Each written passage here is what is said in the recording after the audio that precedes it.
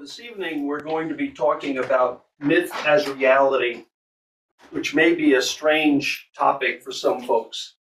Um, virtually all religious traditions, cultures, and societies embrace myths at many different levels. And myths are attributed to societies many millennia ago. There are myths that are decades old. So it's something that has happened, you know, 4,000 years ago and something that's happened 10 years ago or sooner. In other words, there must be a role and a place and a need for myth that is as relevant today as it was a thousand years ago or a decade ago. And throughout my academic and religious life, I've encountered a wide variety of responses to myth. And I chose to do this presentation partly out of my own curiosity to, since I'd never actually done a paper on myth or anything like that. And I thought to myself, you know, let's, let me by doing that, I, I, I further explore it in my own mind and my own curiosity, but also because people often have a negative response to myths. And I, and I, and I really mean negative. I'm not just talking about a reaction, I'm talking about a negative reaction. And we'll be discussing that to a certain extent. And so I want to put myths into a understandable context for people, as well as thinking it through certain aspects of it through for myself. And by the way, I love this this particular, um, which is um, uh, Indra with his many eyes, indicating that he sees all. Uh, and I think that's a really wonderful metaphor, just putting the eyes on the figure to say, this guy sees everything, you know, just in case you don't know. By the way, Bishamonten, you know, one of the figures in the front of our, our Hondo, if you've never looked at him closely, he has eyes in his shoulders, indicating that he also sees things from other directions other than just, you know, uh, the front. Please go ahead. Now, I want to start by, I don't want to give the impression with this presentation that this is just my own take on myth. It's derived from many, many different people with a far more nuanced understanding than my own, which is relatively superficial compared to some of the ones I'll mention. I'd, I'd like to mention them at the front. Often we'll, we'll have something at the end, and I'll say, okay, here's the sources that I used for this presentation. But in this case, I actually want to talk about where some of the ideas came from. The first, of course, is Joseph Campbell, a professor of literature who worked in comparative mythology and comparative religion and um, his work, you know, I don't know how many books he wrote. Um, and if you want a really fascinating view, you can get a copy of The Power of Myth that he did with Bill Moyers and George Lucas on Amazon Prime. Um, and by the way, when I said myths are also decades long, many people may not be aware that George Lucas and Steven Spielberg used Joseph Campbell as a reference when they created Star Wars and when they created some of their other science fiction works. Um, and that was, in the case of Lucas and Spielberg, that was the intentional creation of contemporary myth. So when I say that myth is can be decades long, I'm not exaggerating. Uh, and so when we look, when you think about Star Wars and you see the various symbolism that's in there, that was a contemporary intention to create a mythology for contemporary times using memes that would be understandable to people today. Um, the second person I want to mention is Claude Levi Strauss, Strauss, a structuralist anthropologist, Myth and Meaning, a required reading if you're an anthropologist, as well as Bronislaw Malinowski and his work on myth. He did a great deal of, of work on. Jack Goody, another anthropologist and sociologist who did work on myth, myth ritual, and the oral. And, and a, a, few names that you may, may not be as recognizable, those previous names may all be recognizable to people. But Ursula Le Guin, um, her writing was influenced by her anthropologist parents, Alfred and Theodora Kroeber. And her books, such as The Left Hand of Darkness, were science fiction fantasy that she intended to be mythic uh, in their structure. And so if you read any of Ursula Le Guin's work, you'll see the broad strokes of myth that she includes within those within those works. And of course, there's Emile Durkheim, a sociologist. Um, if you haven't heard of him, um, you should have. But reading him is can be a bit, yeah. And then, of course, Carl Jung, whose work on myth and consciousness are revelatory in the study. Two names that you probably have not heard are Chie Nakane and Emiko Ohnuki Tierney, uh, two women Japanese anthropologists um, whose ethnographies are unabashedly semi-mythologic, mythologic. And when I say that, I say that they're writing, they're writing ethnologies which follows a specific structure. However, when you read them, they almost read like myth because of the way that, that both of those authors wrote their material. Um, Chie uh, Nuki I mean, I'm sorry, uh, Emiko Ohnuki is someone whom I used in many of my courses uh, that I taught. And they taught about, taught me personally a great deal about myth and the provisional reality and how they're interrelated. And I probably would not have been able to identify that have I, had I not gone through this process of creating this presentation on myth. And thinking back on it, I realized how, how instrumental those two people were. Um, however, having said all of that, one of the most instructive is Mircea Eliade, who uncovered the deeper meanings of myth. He was a historian of religions and philosopher. He was a novelist. He was a professor at the University of Chicago. And his work, Myth and Reality, is required reading for anyone interested in this topic. So if you're interested in myth, go for um, Eliade. And I have to say that he's not that difficult to read, uh, even though his writing was in the 30s and 40s, and that, that period of anthropology can sometimes be dense, but he was a very good writer. Uh, the last person I'll mention is someone whom you have all been exposed to, Job Jindo, whose dissertation in 2006 was Biblical Metaphor Reconsidered, a cognitive approach to poetic metaphor in biblical prophecy. So you probably wouldn't realize that we have within the Sangha framework uh, someone who's an authority on myth. I was hoping he would be here this evening. He's too busy trying to finish his books um, because he would probably say, uh, Monshin san, I'm not sure that I would go quite so far in saying or whatever.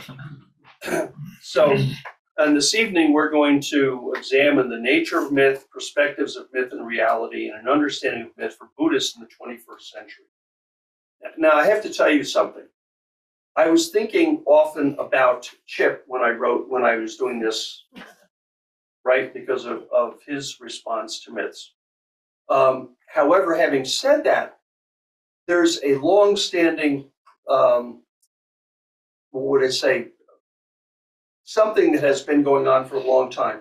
Whenever I do something specifically thinking about so and so, whoever it might be, I might be thinking, oh, this tonight, Jane would be interested in this. And I have Jane in my mind when I'm writing it. I had Chip in my mind when I, well, the, the thing is, the person whom I write for almost inevitably never shows up at the meeting. That's that's just a given.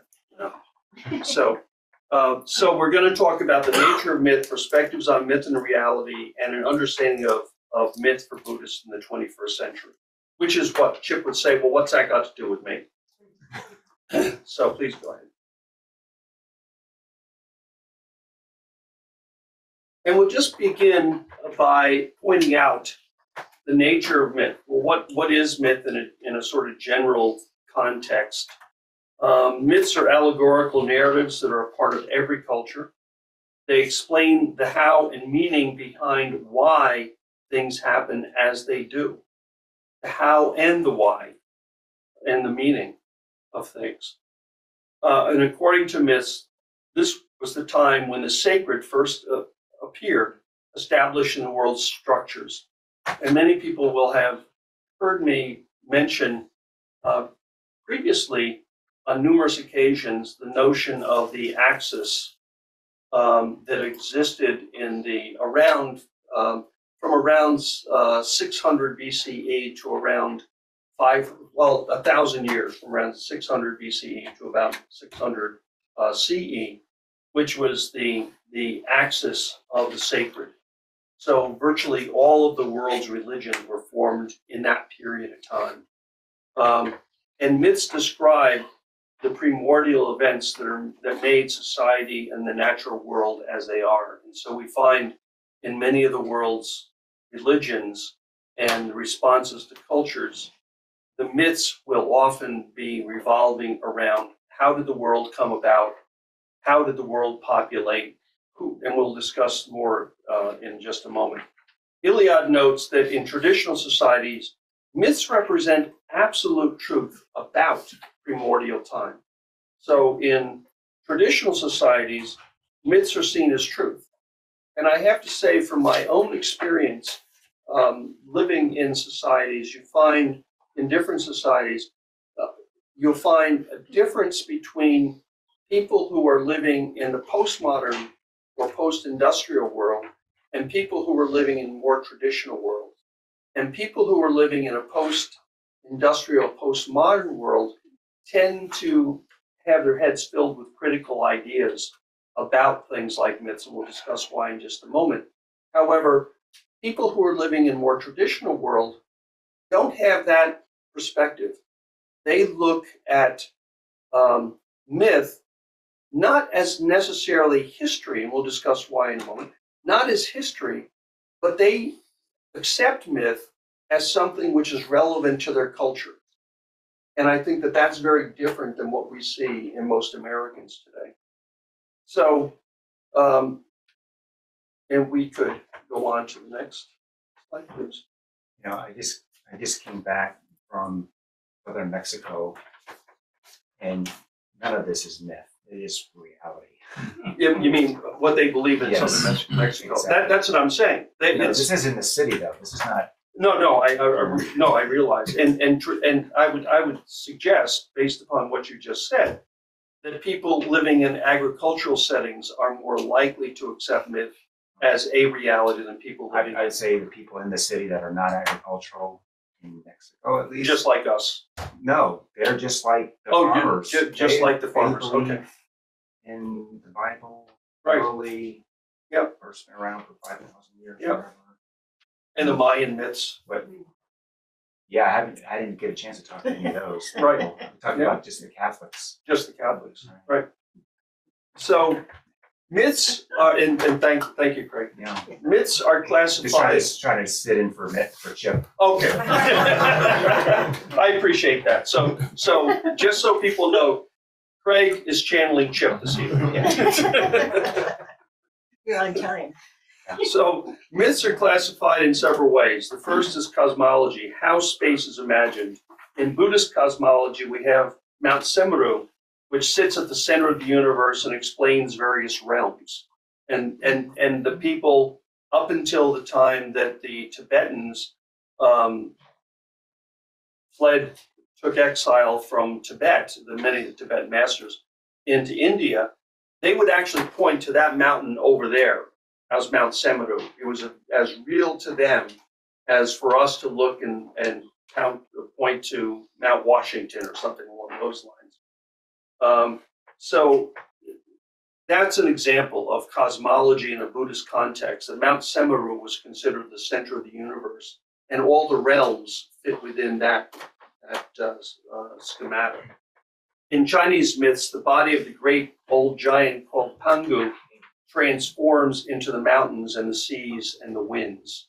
How a natural feature then becomes uh, a living creature. Myths speak of various beings that populated the universe. Islamic mythology talks about the existence of jinns, angels, and humans. And it's really interesting. I was having a discussion with a, a Muslim friend of mine one day who, who comes from um, Malaysia.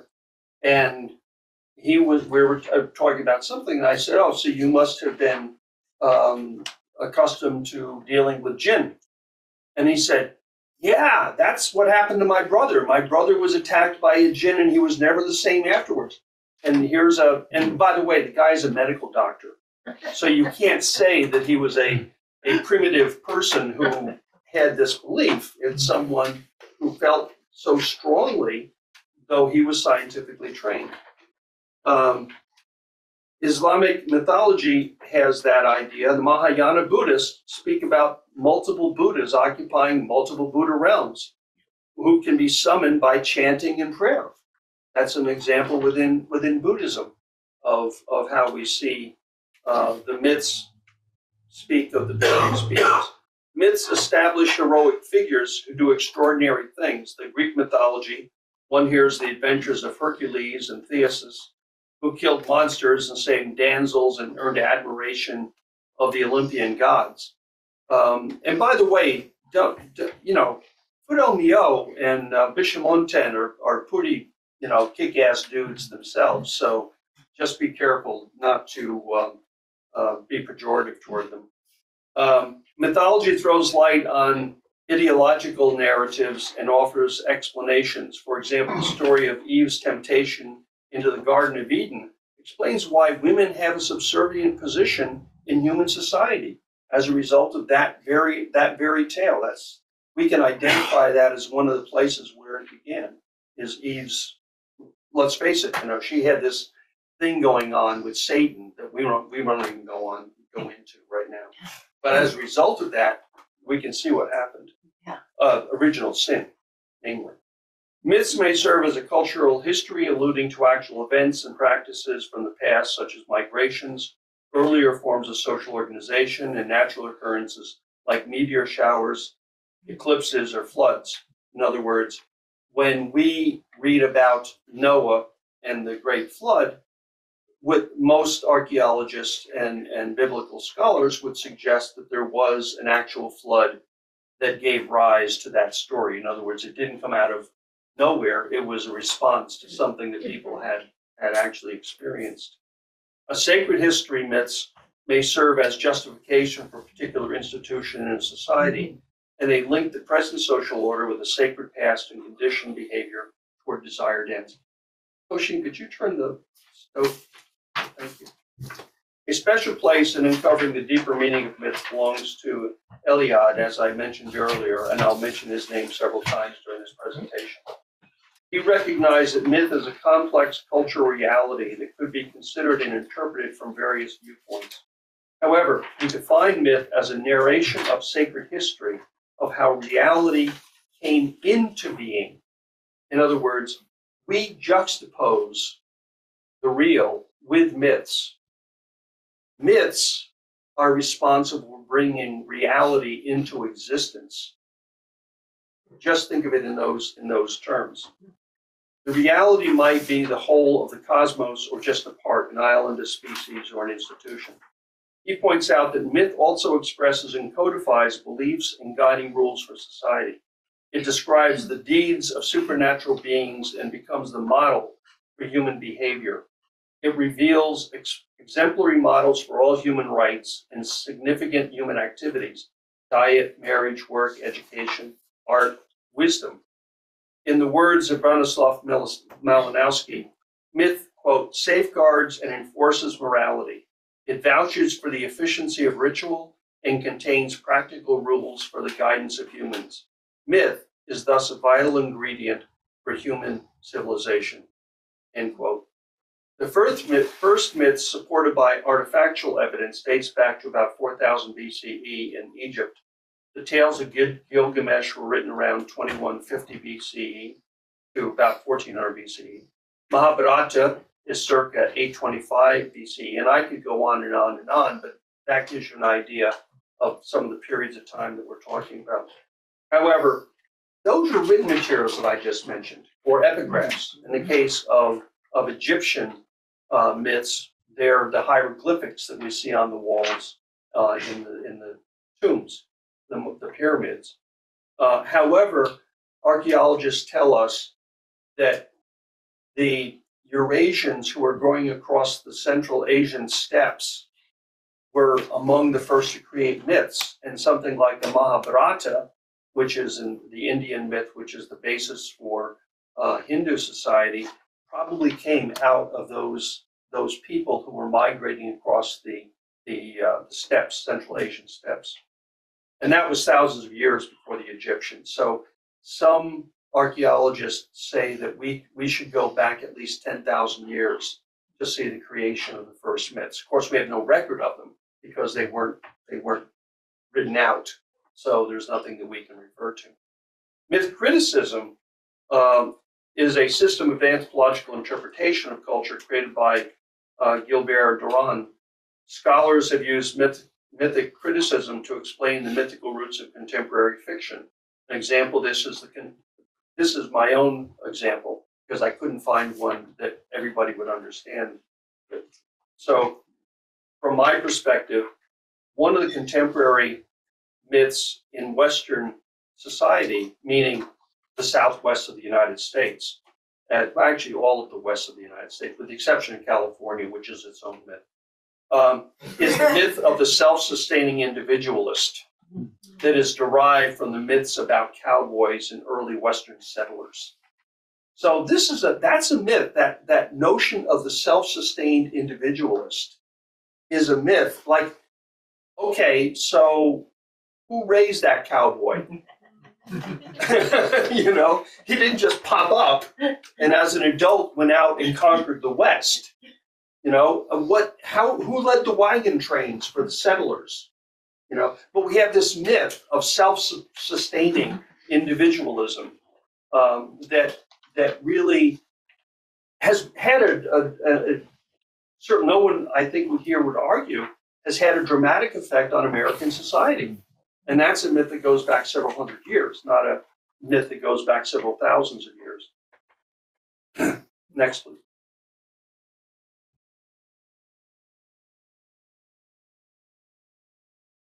So, what is the perspective of myth, history, and reality? The subject mythology emerged in the 19th century. Think about this. The subject of mythology emerged in the 19th century as the world discovered the subject of history. Hmm. We think of those things as being go way back. I mean, Ashoka, there were epigrams on the stelae from Ashoka. Well, isn't that history? No, that isn't history. That was an epigraph, and it didn't have a narrative per se. Before that, memories, legends, myths, parables, folklore, and, and history were all bundled together in one basket. So no one would have thought, if I'm thinking about, um, let's say, the Japanese myth of Amaterasu, um, in which Amaterasu is the is the sun goddess who brought life to the world after being locked in a cave. No one would, in this room, probably. I, I shouldn't say that because maybe somebody does, but typically, no one in this room would think, "Oh, that's Amaterasu. That's a myth." Well, what if, if, if you didn't think it was mythologic? And what about the fact that that is the basis for the emperor of Japan becoming the emperor? That's what he does. He communes with Amaterasu as part of his coronation. That, in other words, history and myth in that case are really one and the same. It's an explanatory mechanism for the imperial family as well as other as, as well as other things.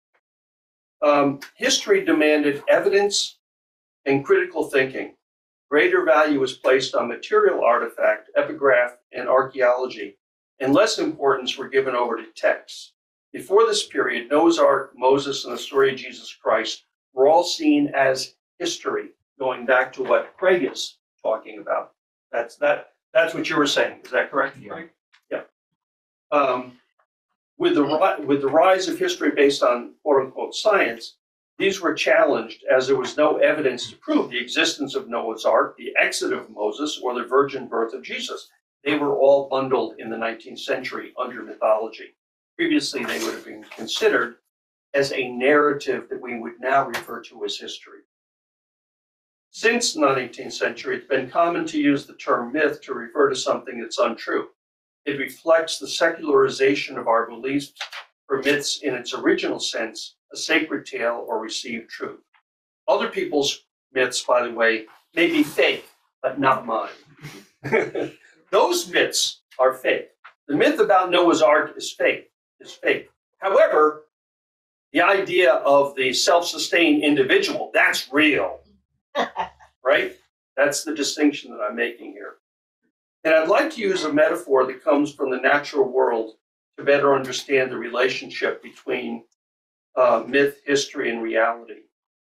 Uh, humans, and, and please go to the, to the following. and this is a biocentric analogy, and it makes sense since I'm a biological anthropologist. Um, humans see a specific visual spectrum of light, and this is a limitation on perceiving our environment, hence our understanding of the nature of the universe. Let me place this in a different perspective using the analogy to understand the relationship between myth, history, and reality. History is seeing in black and white, like the visual spectrum of humans. Most humans have three types of cones. There's cones and rods in our in the eyes of most uh, critters, and humans have three three types of cones, and they see the colors red, blue. Uh, excuse me, red, yellow, and green. And I'm sorry, red, yellow, and blue. And so the prime the primary colors. And these represent short wavelength, medium wavelength, and long wavelength. wavelength. And this is a limited view of the world. So history is that black and white view of the world. It sees the world in a very limited scope. And I'll, to, to show you how limited, I'll be explaining that in just a moment. Mythology is seeing in color, analogous to the mantis shrimp, who has between 12 and 16 photoreceptors, contrasted to three of humans. Why would a mantis shrimp have so many? Well, that's an evolutionary issue. And they can see both UV light as well as Polaroid, uh, polarized light. Um, two things that humans cannot see. We can't see polarized, we can't see UV light. A butterfly, that beautiful little creature that we see flitting around in the spring, has 15 types of photoreceptors. Most animals have more or fewer types of color receptors than humans. In other words, humans have a specific range of receptors. And so, what your dog, for instance, cannot see blue at all. Or, no, I'm sorry, it can't see red at all. It, it blue and yellow, but it can't see red. And so, when you think about what would your what would your life be like if you didn't see the color blue? And, and by the way, the blue spectrum is, is limited in human beings. We don't see that much of the blue spectrum. We see a very minor part of it because that goes up into the infrared uh, zone of light. And so, um, let's say, so this, that mythology is an expanded view of the world like that of the mantis shrimp. Humans see three, the mantis shrimp sees something like, like 16 or photoreceptors. Reality is seen being beyond our human capacity, the wavelengths that we can measure, not observe, ultraviolet, infrared. This might be analogous to the Hubble telescope that sees between 90 to 2,500 nanometers, ultraviolet and Webb telescope, which observes, the Webb telescope sees infrared, which is 600 to 2800, 500 nanometers. These are compared to the human, who has a limited visible light of 380 to 750 nanometers. So 380 to 750 nanometers, and yet a shrimp can see all the way into the thousands of nanometers. The Webb telescope, and that's a picture of the Webb telescope uh, from the Webb telescope on reality, um, is a much more expanded view of the universe. In other words, the biocentrism of humans means that we have a limited understanding of the universe around us based upon our corporeal existence. Um, if we had another another animal which is which is really uh, interesting that has um, well think about in, aside from from sight think about a dog's hearing they can hear in areas that we can't even come close to uh, when you think about it's, it's recently been determined that uh, some of the sea mammals can actually feel the vibrations of things that are literally a hundred miles away. We can feel the vibrations of things that are meters away. But there's certain sea mammals that feel the vibrations of things hundreds of miles away. That's a difference in our ability to understand the world around us. In other words, people say to me, No, this is my experience. And I'll say, Yeah, that's your experience. But how limited is that experience compared to the rest of the universe? And so, just like the Webb telescope that we see the picture of there, and by the way, that picture that was taken from the Webb telescope has been mastered so that we can see it on our visual spectrum because we couldn't see that. That's been that's been rearranged so they assign colors to certain elements of the infrared spectrum. That's how we can that's how we can see that.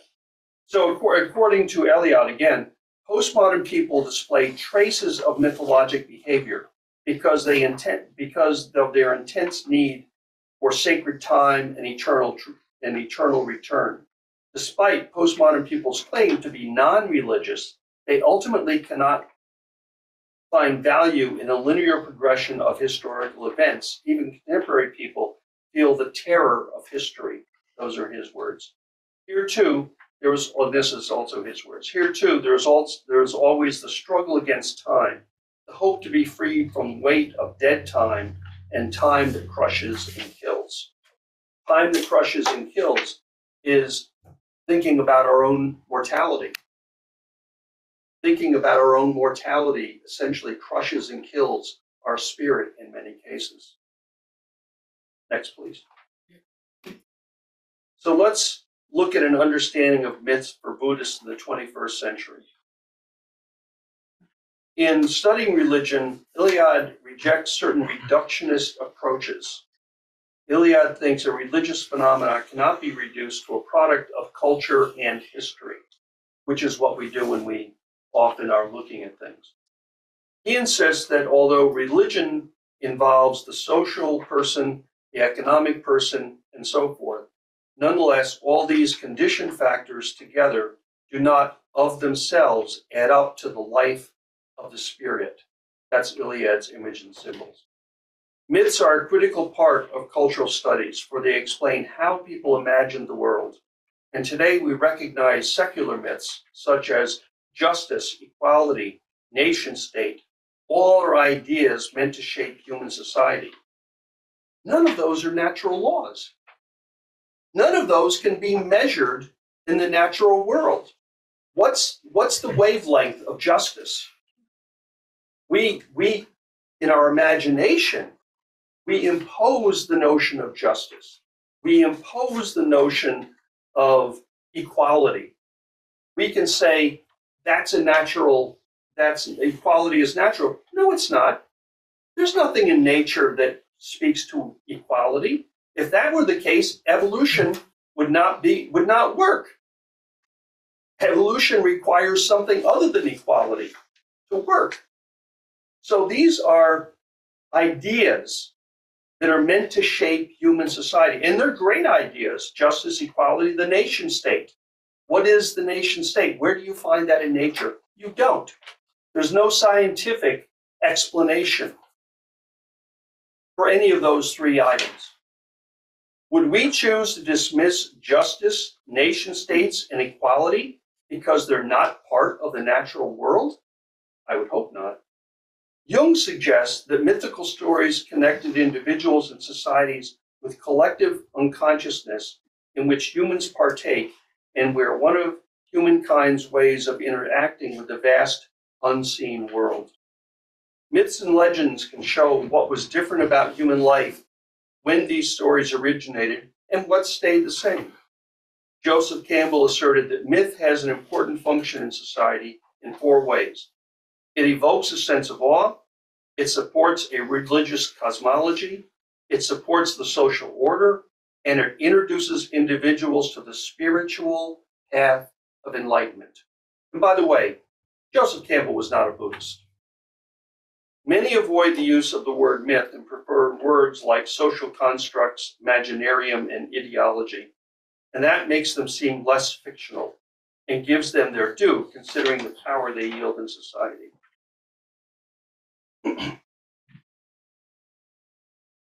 From a Buddhist perspective, the sutras are the word, words of Shakyamuni Buddha. And these words are often rendered into an imaginarium that conveyed the teachings in a way that pure description is ineffective.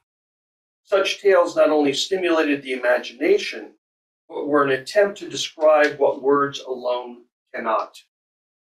They also fit into a social cultural milieu in which the myths were the explanatory vehicle of the time. And one should not take myths at face value, and we should recognize that the symbolism embedded in the narrative is worth exploring and allow our sense a sense of awe and wonder. And we should also allow our heart, mind, spirit to embrace the story, recognizing that there is a reality about which we can only scratch the surface. As Joseph Campbell wrote, myth introduces individuals to the spiritual path of enlightenment.